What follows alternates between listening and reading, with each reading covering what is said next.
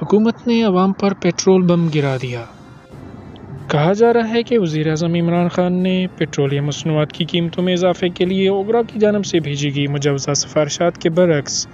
अवामी मफाद को मद्देनज़र रखते हुए पेट्रोलियम मसनूआत की कीमतों में कम से कम इजाफे की मंजूरी दी।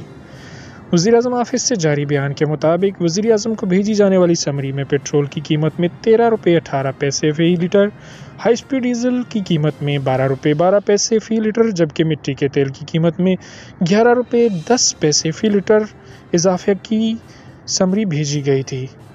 और लाइट डीजल की कीमत में छः रुपये बासठ पैसे फ़ी लीटर इजाफा तजवीज़ किया गया था, जबकि वज़ी अजम ने अवामी मफाद के पेश नज़र पेट्रोल की कीमत में सिर्फ़ दो रुपये सत्तर पैसे फ़ी लीटर, जबकि हाई स्पीड डीजल की कीमत में दो रुपये अठासी पैसे फ़ी लीटर इजाफा किया।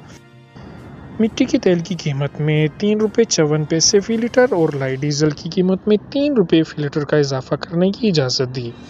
नई कीमतों का इतलाक रात बारह बजे से हो गया।